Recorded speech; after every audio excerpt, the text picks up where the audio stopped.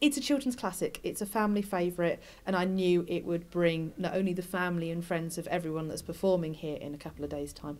Hopefully, it would then start to bring in people from exterior to the youth theatre, and hopefully give us a little bit of a following. And this could really kind of stand as a mark to our reputation of just how hardworking and how committed these children are. The youth theatre teaches classes in all three disciplines of performing arts acting, singing, and dancing. And as a reward and as a bit of a, a motivation for the young people we teach, we go on and perform one annual musical big theatre show at the end of their school year. And this is what we're doing this time around, and it's The Wizard of Oz. We want to give everyone as much opportunity to get as much stage time as possible, and some musicals only have maybe four or five central characters that the, the story pivots around.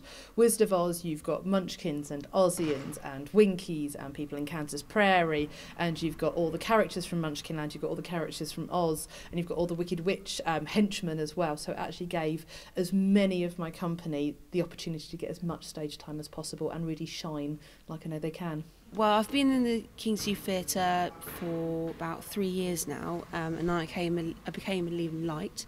Um, and I did an audition, and then I got lucky and came the lion. It's like yay!